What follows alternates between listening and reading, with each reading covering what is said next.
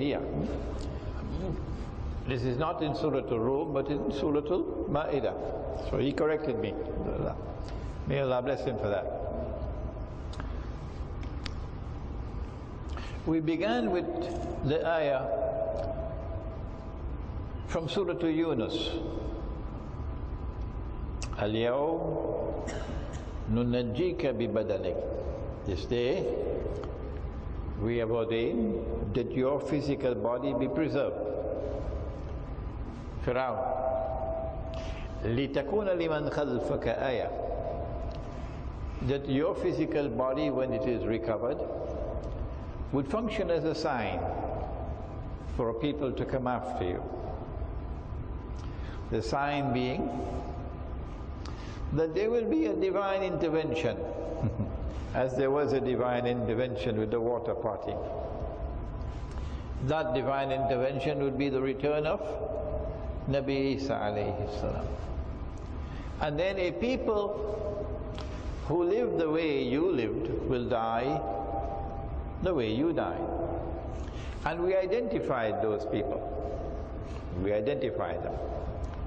The Jewish Christian Zionist Alliance which has NATO as its military arm, which today has given to the world a, a new monetary system of paper, plastic, and electronic money, which is not taught in our institutions of Islamic learning. No. this is international monetary economics and it is not taught. So they don't know the subject. This is the same people who've taken the dinar and dirham that Allah made halal. Allah made it halal, didn't He? And they made it haram. In the Articles of Agreement of the International Monetary Fund, you can check it out. It is prohibited to use dinar as money. And if you make haram what Allah made halal, what is that sin called? Shirk. Shirk. And if you accept it and you follow them in it, you commit shirk. So these are the people now who lived the way he lived and who will die the way he died.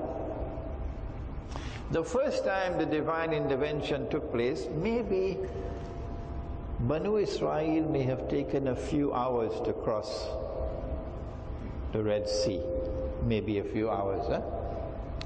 And then Pharaoh and his forces following. So maybe within one day the whole thing took place. But this time, it won't be that short. We go to Surah